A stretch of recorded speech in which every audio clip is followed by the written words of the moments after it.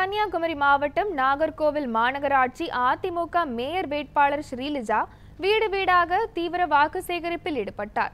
நாகர்கோவில் மாநகராட்சி பதினோராவது வார்டில் அதிமுக சார்பில் ஸ்ரீலிஜா போட்டியிடுகிறார். மேயர் வேட்பாளராக களமிறங்கியுள்ள இவர் தொடர்ந்து பத்து நாட்களுக்கு மேலாக தீவிர பிரச்சாரத்தில் ஈடுபட்டு வருகிறார்.